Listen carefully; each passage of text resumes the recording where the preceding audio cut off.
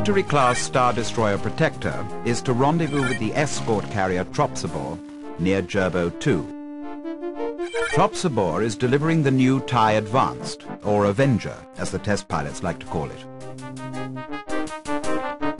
TIE Fighter Group Alpha, consisting of three craft, will be deployed to patrol the area during the transfer operation.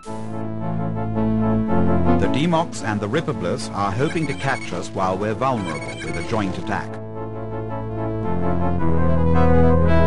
TIE Bomber Group Beta and TIE Interceptor Group Gamma are on standby in case of trouble.